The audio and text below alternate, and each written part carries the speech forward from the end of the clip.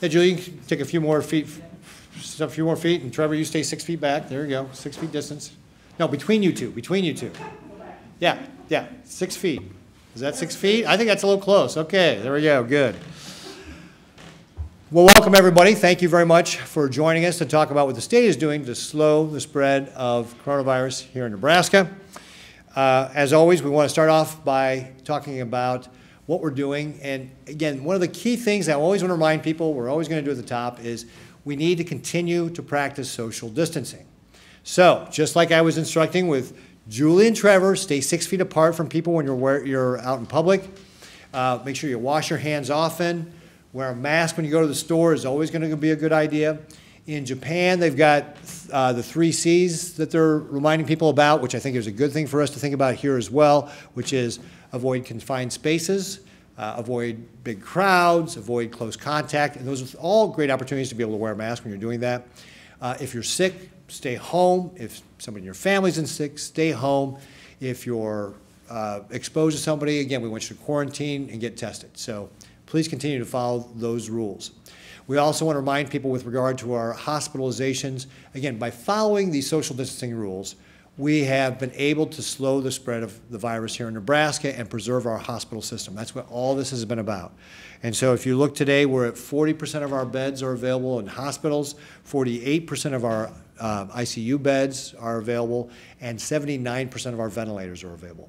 And in fact, we've got this handy dandy chart. So this is available this is the public dashboard that we've got out there on the DHHS website. So if you go to dhhs.ne.gov slash coronavirus and click on the, you know, the updates for us, you get this chart. You can get it where you can see right here, these are active hospitalizations. Going back to uh, April 25th is the last time we had data. And you can see we peaked here about May 27th, and we've been coming down, and that's a good thing. We want to see fewer people hospitalized. In fact, we got about 117 people uh, hospitalized as of last night, and that is the lowest number we've had since probably the third week of April. So that's all very good. Uh, if you go there, you'll see our case counts are also have been very stable for the last few weeks. So that is very good. In fact, uh, do we still have the fourth lowest mortality rate in the country, Dr. Anthone? So we've got the fourth lowest mortality rate in the country. So all very, all very good pieces of data. And of course, we've also got the lowest unemployment rate in the country at 5.2%, um, which is three points better than Utah, which is I think at 8.5%. So we've really struck a good balance here in Nebraska as far as slowing the spread of virus, allowing people to go back to a more normal life. But folks, it only happens if you continue to socially distance. That's the whole key to this. If you want to see Husker football this fall, continue the social distancing six feet apart, wear a mask when you go to the store, that kind of thing. That's what allows us to be successful. So please continue to remind that.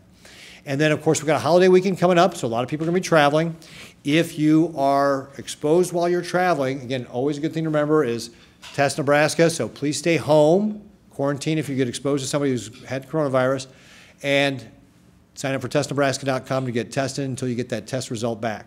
So that's another great way to slow the spread of the virus. So please, folks, please do not forget our rules. We are seeing the spread of uh, coronavirus in southern states and so forth. I think that, again, we got to continue, we got to be vigilant. We've done very well here in Nebraska. We got to continue to be vigilant with regard to the slowing the spread of the virus by practicing our non-pharmaceutical interventions, our NPIs, those things we talk about with social distancing, the six feet away, wearing a mask, washing your hands, all that sort of good stuff. Please continue to do that. That is how we've been successful. We want to continue to be successful. So, um, also, uh, just a reminder that of the four counties that we've had up here on the chart in the past, uh, Hamilton, Merrick, Hall, and Dakota County will be moving into phase three on July 6th. And again, a good reminder of why we need to continue to practice social distancing, especially in those counties. So, but very excited to have them as a part of that. All right, so kind of our standard messages out of the way there. Now, today we're going to have both uh, the DMV and History of Nebraska to come up here and talk about what they've got going on. We're going to start with the Department of Motor Vehicles. So you may recall that back in March, I signed some executive orders that waive the requirements of getting driver's licenses uh, renewed, uh, vehicle registration and titling and so forth. Well, over the course of the last several months, we've been able to start loosening those restrictions. Uh, we've had more county office buildings open up. Uh, We've been able, at the DMV, to continue to provide those services through our service centers that have been open the entire time. And then we've also been able to do a lot of these things online, so you can still do those online. Uh, We waive the requirement for folks who are 72 and older to get their driver's license renewed till the end of the year. That one will stay in place. But as we've been able to start opening up our facilities, we've been adding on staff, extending hours, and we got the online option. Uh, We've been trying to be more flexible with regard to those sort of things. We've been able to provide those services and really get back up to capacity again. And so we are going to be changing um, the D, or those executive orders so that we're going to put a a deadline now of August 31st to be able, for folks to be able to get their driver's license renewed, get that vehicle registered or titled or whatever. So August 31st, two months from now approximately, is when, how much longer people will have to have those things waived. So by the end of August, everybody should have the expectation that if your driver's license expired, you need to catch up on it. If your, you know, vehicle needs to be registered, you need to catch up on it. So end of August. Julie Maskey, who is our deputy director, uh, at the Department of Motor Vehicles is going to come and give us more details about that. So Julie, please come up and give us a little bit more with regard to what's going to be going on at the DMV, because it's always a great day at the DMV, right? Always a great day. Always a great day at the DMV. All right. Please tell Rhonda we said that, because then she'll be really excited. I will do. Thank you. Good afternoon. On behalf of the State Department of Motor Vehicles, we thank Governor Ricketts for his ongoing leadership and support as we have worked to establish new practices and to keep our teammates and customers safe.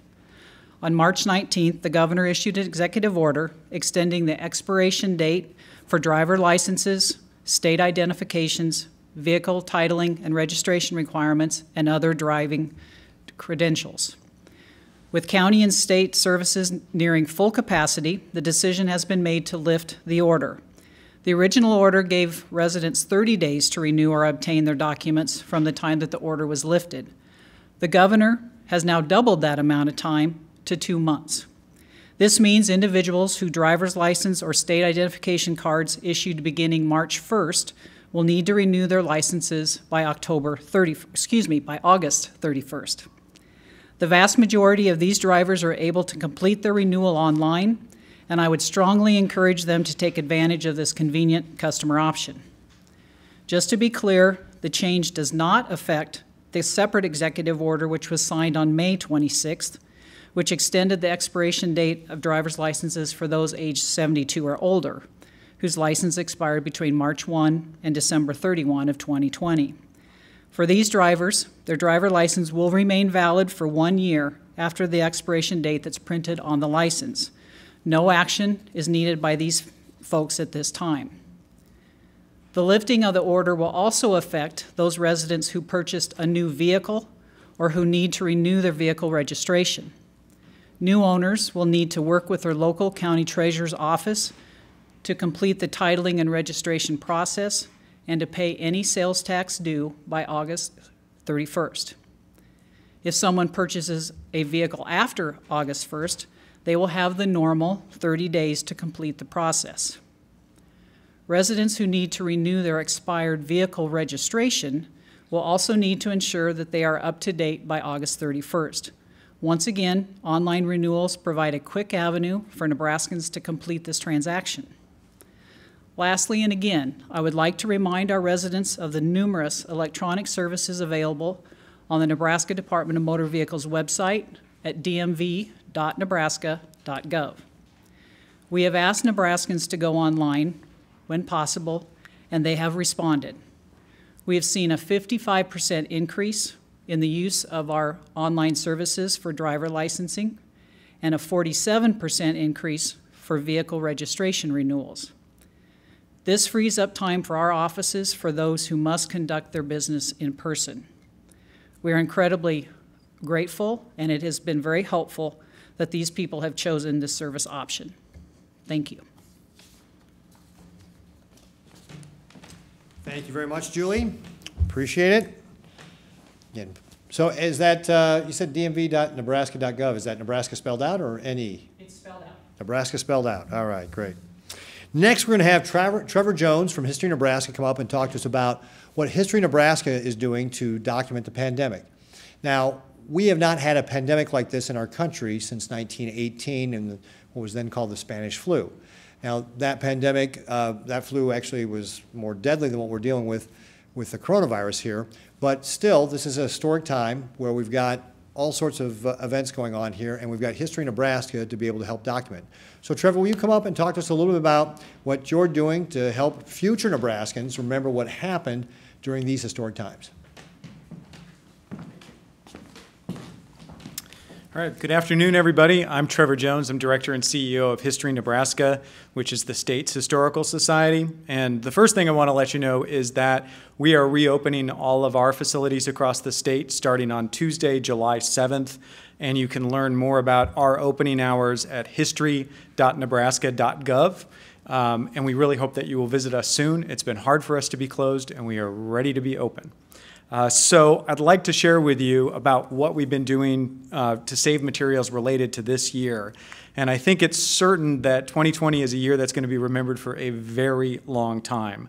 And I think if we're lucky, Nebraska school children someday will be assigned to find somebody who has lived through 2020 and they will come and find you and ask you, what was it like to live through that year and report back to their class. That's how significant this year is. We are all creating history right now.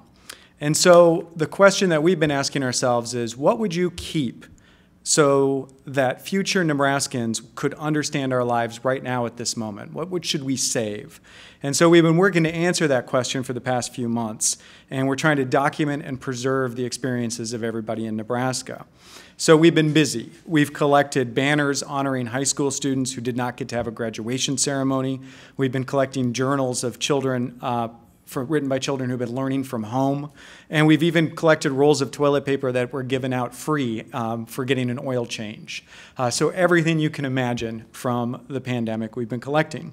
But we're still looking for more items uh, so that future generations can understand this tumultuous year. We've actually asked for these signs that you see next to me as well when they're done with them. So if you have artwork or you are keeping a video diary or you have photos to share, please let us know. If you have protest signs, if you have masks that you've made uh, that you're not using, or when you're not using it, or art that represents how uh, Nebraskans have responded to the year's challenges, History Nebraska would very much like to talk with you. And we're especially looking for people that have some of these things outside of the Lincoln and Omaha area. We've done pretty well in Lincoln and Omaha, but if you're from around the state and you have documentations of things like a drive-in concert, for example, or a drive-in church service, or things like that from places that are not Lincoln and Omaha, we're especially interested in talking with you. So to donate something to us or to learn more, you can go to history.nebraska.gov, and that's Nebraska spelled out, Governor. Uh, and by contributing your story, you will become part of Nebraska's history for generations to come. So thank you, and we hope to hear from you. Great. Thank you very much, Trevor. And one of the things you also should be collecting is the journals of parents who have been homeschooling their kids through the pandemic. so if you got one of those, Trevor just said he'd take those as well. All right, great. Uh, now I just want to hit upon something with regard to some additional good news. Uh, the Annie E. Casey Foundation every year ranks states with regard to their child welfare system and child well-being. It's a 2020 Kids Count this year, 2020 Kids Count, has Nebraska moving up from number 12 to number 9 based on, on improvements that we've had in economic well-being, health, and then the family community category. So good news for Nebraska, and I want to thank the folks in the Department of Health and Human Services and Child, Children and Family Services for their work to be able to help take care of Nebraska's kids. And also, I really want to especially call out the folks in our community collaboratives because they are doing so much important work, working together with all the government entities, nonprofits, private businesses, everybody pulling together in their local communities to be able to help families out. That's really, really important. So I want to say thanks to all our community collaboratives there. So Bring Up Nebraska is a big part of that. Uh, great effort. So thanks to all the folks who are involved with Bring Up Nebraska. All right, so we moved up there. Uh, also want to just announce that we will be doing a 3 p.m. Spanish language briefing immediately after this, so we'll try and wrap this up a little bit before the 3 o'clock hour. And then we will have a 10 a.m. news conference on Monday, and that is probably the time we'll start going to uh, on a regular basis from now on, 10 a.m. on Mondays. And we will, on Monday, have Game and Parks coming in and talking about what they're doing with regard to reopening and the opportunities to be able to use their facilities. I know a lot of people, uh, you know, air travel is obviously not something people are doing a lot of, certainly aren't doing inter- international travel, travel. Great time to travel to state of Nebraska and see all that we've got. We've talked about the Department of Tourism and their passport program. Um, one of my best family vacations I took with my family is throwing the kids in the car and driving around the state and seeing all the great things we have here. So uh, taking advantage of our Game and Parks facilities is another great way to be able to enjoy the summer here in Nebraska. All right, now we're going to go on to Q&A. Uh, we'll start with questions that were submitted. Erin Duffy, the Omaha World Herald. Will Nebraska ask travelers from Texas, Arizona, California, or other hotspot states to self-quarantine as other states, including Kansas, New York, and New Jersey have done? Uh, we have no plans to ask people who are traveling uh, to specific hotspots to do that. But I would say, that, again, it gets back to our regular rules. If you are traveling and you have been exposed to somebody who you know has got coronavirus, quarantine, you know, follow all the same rules we ask you to do. Quarantine, sign up for testnebraska.com. If you haven't, update your profile at nebraska.com. If you have already signed up for testnebraska.com, get tested and stay home until you get that test result back. So that's part of the ways, again, we slow the spread here in our state. So please follow those rules as you're traveling this holiday weekend. Becca Costello from NET, uh, several questions here. The race ethnicity data published online shows that minority populations are being disproportionately impacted. We, uh, something we talked about about a month ago. What has the state done within the last month to reach out to these communities? So we actually started early on with regard to different communities to be able to reach out to them. Again, one of the reasons why we have the Spanish language broadcast to be able to communicate to our Spanish-speaking Nebraskans with regard to what we're doing to slow the spread and what they can do to help do that. Uh, we've actually published uh, a number of videos with regard to what you can do to protect yourself and your family, not only in Spanish um, and English, but also in French and Arabic and Somali and Karen and so forth. So reaching out to different other communities with regard to what we're doing here at the state. Uh, we have uh, focused our, our, plans on at-risk communities that involved our food processing plants, which uh, uh have a lot of Hispanic folks that are working in those uh, facilities. So we have plans around that. We offer folks in the food processing industry the opportunity to be able to uh, find a place to stay if they don't feel comfortable going home, either because there's somebody at home with coronavirus or they don't want to bring it back to the home, just like we do for our healthcare workers and our first responders and so forth. So we do that. Uh, we've worked with our community um, or our local public health departments in reaching out to different community organizations to be able to help reach out to minority communities. So for example, working with our healthcare clinics that are you know the trusted face in those communities oftentimes to be able to help do education, to be able to reach out and do testing. So for example, we've uh, worked with One World and Charles Drew in Omaha to be able to provide more test kits or to do more testing and so forth to be able to make sure we're reaching out to those communities. So there's a number of different things that we've done with regard to reaching out to minority communities to help make sure that we're providing the resources or the education or whatever it would be to be able to help uh, again, lessen the impact of coronavirus, understanding that if English is not your first language, this may not be, this press briefing may not be the best venue to be able to reach those communities, so we try to find other ways to be able to do that.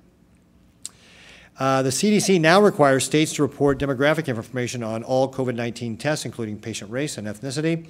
Uh, will the state be able to provide that information? Will it soon be included on the state's data dashboard? So uh, again, uh, last month we talked about the race ethnicity data. It is now on the public dashboard. There is a portion of that that is not reported. Uh, again, we can't force people to report that if they don't want to report it, but we do try to catch that when we're doing contact tracing and so forth. And so we will continue to make efforts to be able to provide more complete data. But again, we can't force somebody to report that if they don't want to report it. We will try and capture it, however. Uh, please provide updated information on the number of coronavirus cases and deaths in long-term care facilities and among our food processing plants. So, Dr. Anthone, you generally have got that data on hand, so I'll ask you to come up and give us a briefing on that. I'll give the uh, long-term care data first, and this is uh, current as of uh, yesterday. Uh, the number of residents in long-term care facilities that have tested positive is 636. The number of staff members at long-term care facilities is 552 that have tested positive. And we have 152 facilities out of a total of 496 in Nebraska that have either a positive resident or positive staff member in their facility, at their facility. And uh, deaths are 113 deaths with one death uh, pending validation at this time. We're also keeping a rolling two-week average of our long-term care facility data. And uh, over the last two weeks, we've had uh, 16 residents test positive, 15 staff me- members, and one death, and uh, nine new facilities that have been affected by COVID positive. And when we trend that over the last several weeks, it's been very, very stable. There's not been a really big increase or a big decrease in those numbers. As far as meat processing plants are concerned, we've had a total of 4,596 confirmed cases and 18 deaths and 208 hospitalizations, which also has been very, very steady, very few increase uh, over the last several weeks. So um, everything looks good. I want to just tell Trevor that when all this is over, I'll be glad to donate all my paperwork to you, Trevor, so. Great, thank you very much, Dr. Anthone, and Dr. Anthone, our Chief Medical Officer for the state. Don Walton from the Journal Star asks, do you anticipate the like, or what, or do you anticipate the likelihood of a coronavirus surge in Nebraska as it continues to spike in other states? And if so, what action are you prepared to take? So we are obviously, again, let's go back and just say, hey, we're in very good shape right now, folks, with regard to the cases being stable, lowest hospitalizations we've had since the third week of April. We've got uh, cases being uh, you know, stable, fourth lowest mortality rate, and of course our lowest unemployment rate in the country. If we could stay like that till the end of the year, I would be ecstatic. But it only happens if we continue to do our social distancing. That's why we continue to talk about that at the top of every one of these. So, do we anticipate that going up? Well, if we all practice social distancing and stay that six feet apart, wear a mask when you go to the store, wash your hands often, we can actually mitigate the opportunities for that to happen. Now, having said that, we are looking at what's going on in other states, and we see that a lot of the cases have to do with young people. So, again, if you're a young person, please pay particular attention to your social distancing. If you're going to go out to the bars on a Friday or Saturday night and the bar's crowded, pick a different one. That would be a good choice to make. Go to a different bar, try and find one that's going to be not so crowded. So that's like an ex- example of how you can try and manage this and to really help make sure we're slowing the spread here in the state. Uh, we are looking at what we can do with regard to uh, other things to mitigate that. And, and again, it just gets back to the kind of the blocking and tackling, the basis of epidemiology around testing, testnebraska.com. We've uh, got 197,700 people that have signed up for that. We've done over 600,000, had 600,000 assessments. Uh, we've scheduled 72,000 plus appointments, done 65,000 plus tests. Again, Test Nebraska, if you want just about any, you know, we've lifted all the restrictions on getting tested, so anybody can get a test if you sign up for testnebraska.com. That's a way for us to continue to monitor the conditions going on in the state, so we want people to continue to sign up for testnebraska.com. It's a great way for every Nebraskan to participate in slowing the spread of coronavirus here. And when we do find somebody who is tested positive, we want them to isolate, stay home. Our contact tracers will work with them with regard to that, and then find out who they've been in touch with over the last two weeks, so we get those people to either quarantine or monitor their symptoms, whatever is going to be appropriate. That's the kind of the blocking and tackling that we have to do here in Nebraska to be able to limit the spread of any surge that might happen down the road. So those are the things we're continuing to, to look at and monitor to see what we can do to make improvements. We've got process improvement teams that are working on that. Uh, we're working on contracts to be able to expand contact tracing. We've got over 900 people now that are trained to do contact tracing in the state. That includes our local public health departments that are sitting at about 218 people that they've got staffed. Uh, we've got 275 people at the state that are trained within our Department of Health and Human Services. Most of them have gone back to their day jobs now. And so we're looking to work with those private companies like uh, uh, PRC and Emeritus and IGT that are uh, there to be able to do that contact tracing. So again, we want to make sure that we've got the resources that we can deploy those contract, uh, contact tracers to the local public health departments should we see a spike so we can quickly run down where that's happening and get those folks to isolate. So those are some of our strategies that we're going to be thinking about with regard to how we're going to handle if there starts to be a resurgence of the coronavirus here in Nebraska. Uh, we will certainly keep all other options uh, open as well on you know, uh, anything we need to do if we think we need to, but really, it's going to be, the frontline defense is going to be that testing and contact tracing, so again, why it's important to sign up for testnebraska.com. And with that, we've run out of questions. Uh, Taylor, do we have any texted in? Uh, Martha Stoddard and two other reporters are asking for comment on the ballot initiative uh, petitions that were turned in today for both marijuana and gambling. So Martha Stoddard and a couple of other uh, reporters were asking for comments with regard to the test, uh, or rather, the, the ballot initiatives for uh, expanded gambling and for uh, the marijuana. And again, I think, uh, again, Nebraskans obviously will uh, make their decision when they go to the polls, but with regard to, say, gambling, Nebraskans have rejected that historically. Just to remind Nebraskans that, folks, um, for every dollar you collect in tax revenue in gambling, you spend three in social services. Increase child abuse, increase spousal abuse, embezzlement. There are all sorts of social problems that come along with expanded gambling, which is why Nebraska has, and Nebraskans have historically rejected expanding gambling here in the state. I certainly support rejecting expanded gambling and would encourage other Nebraskans to uh, support rejecting it as well. And then with regard to marijuana, again, we have a process here in the country called the Food and Drug Administration. What they do to make sure drugs are safe and effective in certain quantities with known side effects, and to go around that process will put Nebraskans' health and safety at risk. This is, we have a process in place to keep people safe through the FDA. That's the process should be followed. Derivatives of marijuana, like Epidiolex, have followed that process. That's what needs to continue to happen going forward. This is an attempt by big tobacco and the, uh, sorry, the big marijuana and tobacco, which often owns these companies, to go around that process and not be regulated.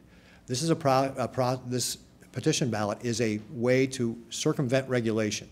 So I ask Nebraskans to consider that when they're thinking about this. There is a process that these drugs can go through. That's what it should go through, just like every other drug should be treated just the same way. And this is an effort by commercial firms to avoid regulation. So again, encourage people to take that in consideration as they're going to the ballot box and evaluating this. Uh, Martha was also curious to know if you plan to be involved with opposition efforts um, for either of these. So Martha one, uh, also wants to know if I'm going to be involved in opposition efforts, and certainly I think my position is pretty clear on these. Uh, I am opposed to it, and so uh, we'll continue to talk to Nebraskans about the harm that will be caused to Nebraskans by both of these ballot initiatives. Was there something else on that, Taylor? Oh, okay. Uh, Paul at Fox 42 would like to know what can Nebraska do to ensure that we don't become like Texas, New York, and California where services are shutting down again? So Paul at Fox 42. Fox 42 wants to know what we can- do to uh, make sure Nebraska doesn't end up like some of the southern states where they've had to walk back some of the loosening of restrictions they've had and so forth, and they see the, the cases going up and so forth. Same kind of answer I just gave to Don Walton. Folks, if you want to see Husker football this fall, wear a mask when you go to the store. Stay six feet apart from other people. Wash your hands often. Our non-pharmaceutical interventions, these things we do that are called social distancing, all help us to make sure we slow the spread of virus here in the state. Avoid those confined spaces with people you don't know. Avoid crowded places. Avoid close contact with people you don't know. These are all the things that we can all participate in to make sure we slow the spread here in the state. And then as well at the state, we're going to be looking at continuing to beef up our contact tracing, uh, our contact, or our testing, kind of the blocking and tackling, tackling of what we do for epidemiology to be able to make sure when we do have somebody who tests positive, we get them to isolate so they don't infect other people in the community. Uh, David Earl from KTV has a question about USCIS Immigration Services. They employ um, folks here, 1,100 folks here in Nebraska or more, and there are notices that went out last week saying that unless Congress acts, that they'll be furloughed on August 3rd. And he wanted to know if you had any comment on that. So David Earl from KETV wants to know about uh, U.S. Immigration Services that is, uh, put out a notice that they're going to start furloughing people on August 3rd, and I believe this is in response to that as an agency that is driven primarily by fees that are paid to people that are coming to this country. And again, if we've got our borders essentially closed so that people can't come here, they've not been collecting the fees, and so they don't have the resources to be able to continue to run their operations. And um, again, I, this is a federal issue. I'd encourage Congress to take a look at this very closely with regard to what we need to do, what kind of services are essential for them to provide, and for Congress to take the appropriate action. Okay, questions from folks here in the audience? Paul? You're always good at starting.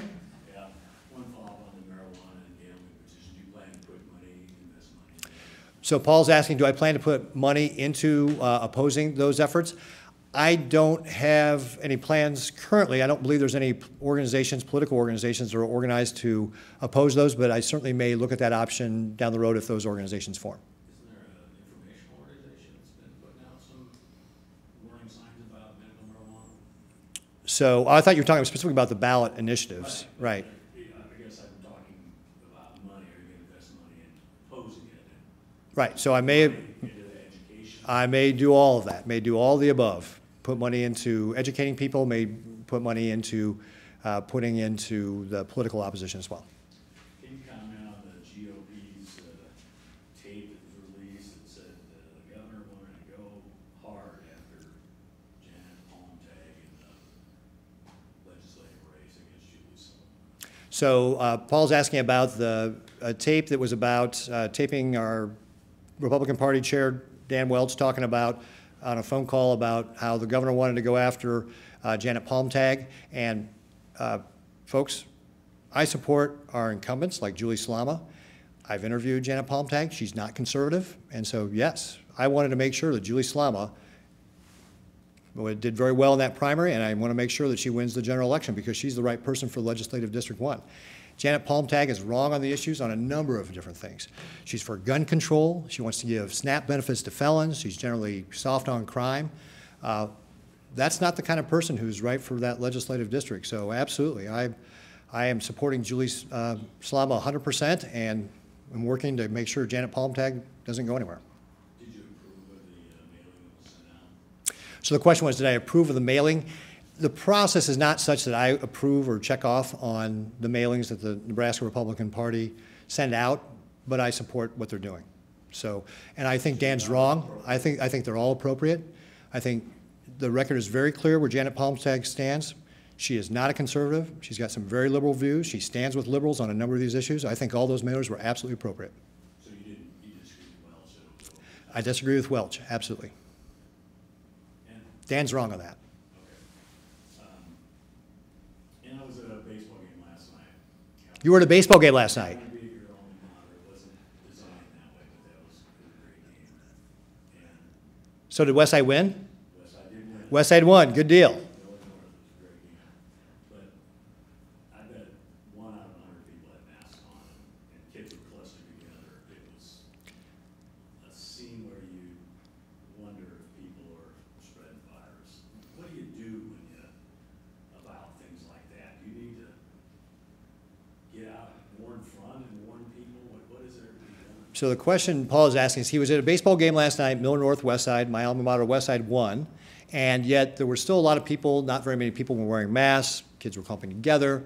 What, the seats were pretty full, what do we need to do about that? So, first of all, I would ask that the organizations putting on those events like that, look at our guidelines and please try to help make sure you're ensuring social distancing. So the responsibility is really to start, starts with the organizer of those, of those events. Folks, look, if you want to continue to have baseball games or see Husker games, the organizers of the events have to work on making sure we're providing social distancing. But again, what we've done through this entire pandemic was also asked Nebraskans to take personal responsibility for doing this as well. So this is why I start off all my press briefings by saying, hey, folks, we got to continue to socially distance. So I encourage Nebraskans to be able to do that. And so my next question, Paul, is if you saw there was all those people there without wearing masks and it was crowded, why did you stay? You should have turned around and left. And that's what I encourage other Nebraskans to do too. That if you see there's an event where there's a lot of people and you're concerned about people not wearing masks, they're not staying, you know, family groups aren't staying six feet apart, things like that, go someplace else, right? That, that's a good opportunity to say, the venue's too full already, I'll go do something else. I use that example with the bars, but it applies to everybody. If you see an event that's crowded, it's a good opportunity to either wear a mask and make sure other people are wearing masks, and if they're not, then maybe choose another alternative. Other questions? Folks in the back. Okay, if you guys are quiet, Paul's just going to keep asking questions. All right, Paul, you got any other questions? What about using a TANF, uh, cash reserve money now, uh, to help needy families or? Oh. We had an article earlier in the week, this cash reserve has been built up. Some organizations are asking that now's the time to spend that money. So uh, the question was about the TANF monies, or the temporary aid for needy families money, that we have a cash balance there, and uh, some organizations have called to spend that money. And in fact, actually, going back to 2015, uh, former State Senator Kathy Campbell and I had worked on a bill, because we had a balance then, to start paying out more to the families with regard to that. So I think we have to keep in perspective that this is something that we have increased the payouts to families going back to 2015, and we want to make sure we can continue to do that for the foreseeable future. So we are managing that, that fund along those lines.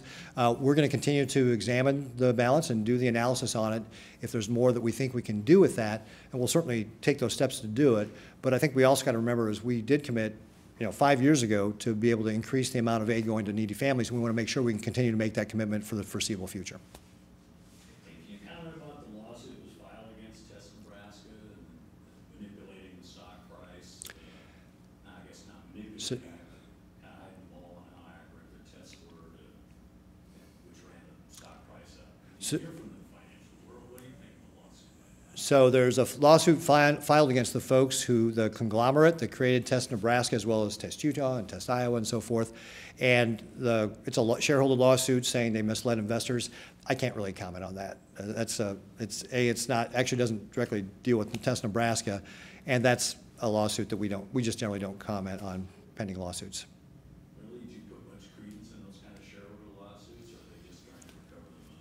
The question is, do I put much credence in shareholder lawsuits? And again, it just, I can't comment on the lawsuit. All right, anybody else? Paul, any other questions before we wrap up? Because we're going to wrap up if you don't have any. I know, it's kind of unusual, right, Paul?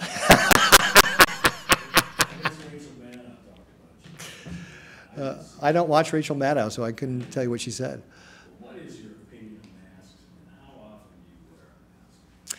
So a question Paul asked, what's my opinion of masks and how often do I wear a mask? So masks are a tool, just like every other tool we have with regard to these non-pharmaceutical interventions. Um, When we talk about keeping six feet apart in distance, wearing a mask when you go to the store, washing your hands, staying home when you're sick, these are all things that we should do to be able to slow the spread of coronavirus here in Nebraska, and everybody can participate in doing that. So I wear a mask, for example, when I go to the store. So I went to go buy my wife a, uh, a birthday present, I wore a mask in to go do that. If I go to the grocery store, I'd wear a mask to go do that. Uh, when I was taking the tour at the Nebraska Public Health Lab, that was another great example where I used a mask. So again, it depends on the circumstances. We just had a meeting with the state fair. Um, When I went up to their boardroom, I wore a mask because it was an enclosed space, right? We We're going to be a bunch of people in an enclosed space. When we went outside to do the press conference and we could be six feet apart, I took my mask off because then I had, I not only speak, but we could be six feet apart and we were outside in a non-enclosed space. So again, what I think that Nebraskans ought to do is, just like we've done, you know, I'll analogize this to the stay-at-home order. We were one of the states that didn't do a stay-at-home order, but we did ask people to stay home, stay healthy, stay connected. Same thing, we're asking people to use their common sense and good judgment. You know, you, you, use your good judgment about using a mask. If you can be more than six feet apart from somebody and be outside, you probably don't need it. But if you're gonna be inside, especially in an enclosed space, and you can't stay six feet apart, that's a good opportunity to wear a mask. So, You seem to still be criticized for not allowing local governments to make that decision if they wanted to mandate it in their own buildings. so, and then question about the local government, specifically, it wasn't all local government, specifically the counties. And counties, the taxpayers already paid their property taxes. I didn't delay that, even though a lot of people were asking me to do that, but uh, we didn't delay the first property, uh, first payment property taxes, so taxpayers paid their, for their property taxes and for our counties to be able to provide those services. And so while I think it's absolutely appropriate for a county to ask people to wear masks and to provide a mask uh, when they go in, well, we, you know, the Department of Motor Vehicles, if you're coming in, we ha- have, you know, we'll encourage you to wear a mask, but to, uh, to require it to get government services that taxpayers have already paid for, I'm, a- I'm opposed to that, and the counties still do have a choice. If they want to forego the CARES Act, then they can make that a requirement, but they won't be eligible for the CARES Act money to, to cover their expenses with regard to coronavirus. So the counties still do have the choice. So they just have to decide how they want to do it. How about a tax question? You, I know the chamber and the Platte Institute, which you used to be involved with, have said it's a mistake to decouple uh, our tax system from the tax changes of the CARES Act. Would you agree with that?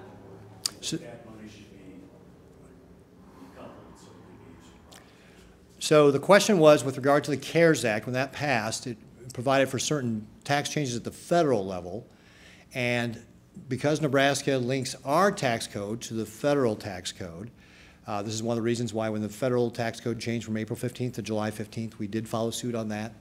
And the question was, you know, should Nebraska continue to follow the CARES Act, which over the course of three years would result in the loss of about $250 million in tax revenues? I think in the first year it's $125 million.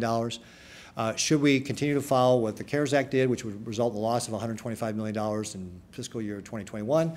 Or should we decouple that and not follow those taxes? Uh, We haven't made a decision with regard to that, and I think it's all part of the negotiation that will go on with regard to property taxes and incentives and all the things we'll be talking about in the upcoming legislative session. Do.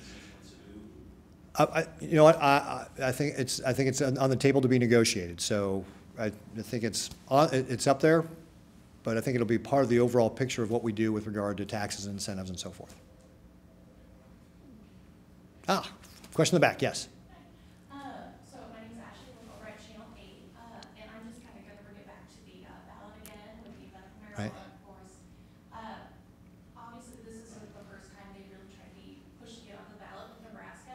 Um, a big selling point for them is a lot of families around here say that they have a loved one who possibly might benefit from it. Um, do you have any response to that?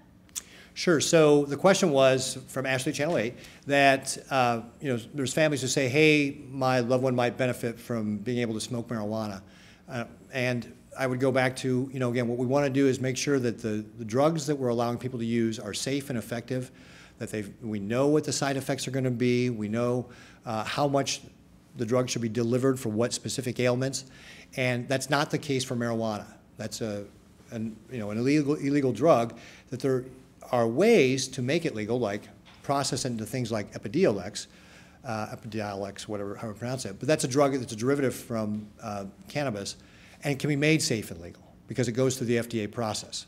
What we see here, though, is with these companies, these marijuana companies, many of them owned by uh, big tobacco companies, they're trying to go around the regulatory process. They're trying to escape regulation. And so that's putting Nebraskans at risk when you do that. And so you're actually maybe putting your family member at risk because they're really trying to avoid that regulation to make sure that whatever drug we provide to somebody is safe and effective. There's time for just a couple more. Two more questions. Brandon? So for Day and twenty-five person rule, is there any sort of advice you could give someone who's looking at hosting a Fourth of July party and how they follow, you know, probably not knowing the occupancy of their home? Right, so the question was, uh, any advice to people who are having a Fourth of July party?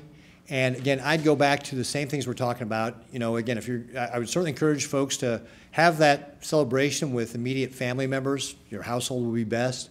If you're going to expand it, please try to keep social distancing. Do that celebration outside so people can have that room to stay six feet apart. Please keep these things in mind as you're doing it.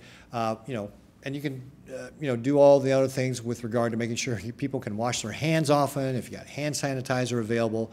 I mean, all- use your common sense and good judgment on this, folks, that we know how the virus spreads. It spreads through uh, droplets that, you know, come out of your respiratory system. So when you cough or talk or sneeze or sing or anything like that, you're potentially sending virus out if you've been infected.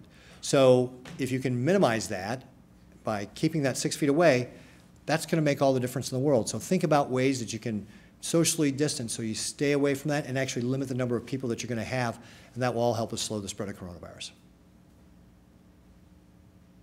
Last question. All right, Paul. It looks like you get it. Well, if you don't have any, I'm not going to make you. Well, All right, you got one more. I'll give it to you. Uh, Some people say your mask, stance on masks is to appease the president of the United States, who's not a big fan of masks. Can you address that? Oh, so the question was, some people say my stand-out mask is uh, to appease the president, who's not a big fan of masks. Actually, my stand-out mask uh, is in line with what we've, everything we've done here in the state with regard to asking people to use common sense and good judgment, to lay out kind of the conditions when it's a good idea to wear a mask, like we just laid out, you know, when you're going to the store, that's a great opportunity to wear a mask, right? Uh, Whenever you're going to be closer than six feet from somebody inside, that's a great opportunity to use a mask. So I think it's just about common sense and good judgment and asking people to do the right thing. you know, ask Nebraskans to do the right thing. That's what happened when we did the stay at home, and that's what we're doing with this too. It's nothing to do with the president. All right, folks, thank you all again for being here this afternoon. Thank you to all the Nebraskans who have sacrificed to implement these social distancing rules, to, you know, follow the six-foot guideline, who've worn masks to stores, who've washed their hands off, and who've stayed home when they're sick. Thank you to all the Nebraskans who have sacrificed to slow the spread of coronavirus here in our state. It has been successful. Now, for us to continue to be successful, we need to continue to do it. So please continue to do that. Please sign up for testnebraska.com. And of course, it's a holiday weekend, so I hope everybody has a great Fourth of July holiday. Please stay safe. If you're traveling, buckle up, drive the speed limit, all those sort of good things that we talk about staying safe that have nothing to do with coronavirus. They still work too. We still want you to do that. But uh, please enjoy the Independence Day holiday, and we will see you all back here again next week. Thank you very much, and God bless.